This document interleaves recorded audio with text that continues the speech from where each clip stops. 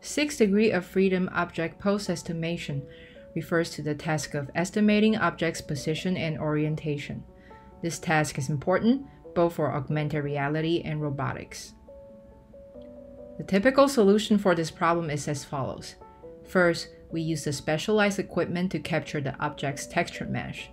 Then, training data is generated by aligning the texture mesh to real photos or by rendering the mesh using computer graphics. Finally, we train a neural network to estimate the pose for each object. The goal of our project is to simplify this process by replacing the first two steps with pictures taken using a simple color camera. The step is cheaper and more scalable than scanning with a specialized equipment. To achieve this, we propose to use neural radiance fields, or NeRF, to create a differentiable renderer of the object or scene. And as we will show, inverting a NeRF will allow us to perform pose estimation. NeRF performs reconstruction by taking in a set of images and the corresponding ground truth camera poses. First, it emits rays through pixels on an image plane. Along the rays, a set of points are sampled for use as input to the neural network f theta, which outputs a set of densities and color. These values are then used to approximate the color of pixels using volume rendering. The rendered pixel are compared with the given images to compute the loss, and the gradients of the loss is backpropagated to update the neural network. After training, NeRF is able to synthesize consistent novel views, as shown in the video here. In this paper, we present iNeRF, a framework that performs pose estimation by inverting a trained NeRF. Different from NeRF, we start from an estimated camera pose, and our goal is to iteratively refine the pose. Following the similar rendering procedure to compute the loss with the observed image, iNeRF instead propagates the gradients to the estimated pose. After it's completed, iNeRF is able to recover the correct camera poses by aligning the render and observed images.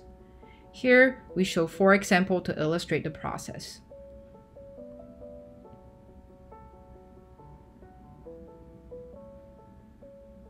To better compare NeRF and iNeRF, we note that NeRF takes as input the camera pose and outputs an image, while iNeRF takes an image as the input and estimate its camera pose.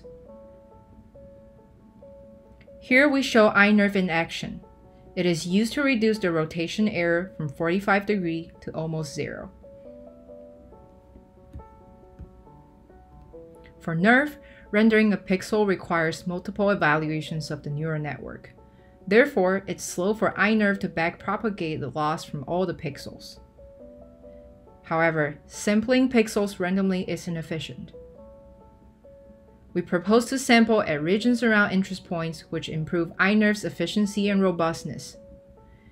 Here we show that sampling around interest points allow us to recover from the error, whereas random sampling struggles. We also evaluate iNeRF on LineMod, a popular object pose estimation benchmark. First, we train neural radiance fields on LineMod objects with synthetic data. Then we apply iNeRF to estimate these objects' poses in the real photos, which are masked by the predictions of the segmentation model.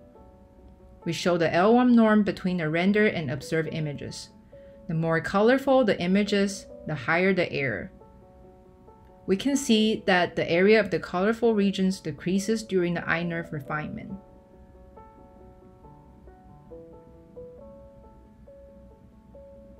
Finally, we also explore using iNeRF to generate pseudo pose label for training NeRF. Our experiments showed that by only using 50% of the camera pose labels, NeRF models trained with the pseudo labels generated by iNeRF achieve better rendering quality and PSNR scores.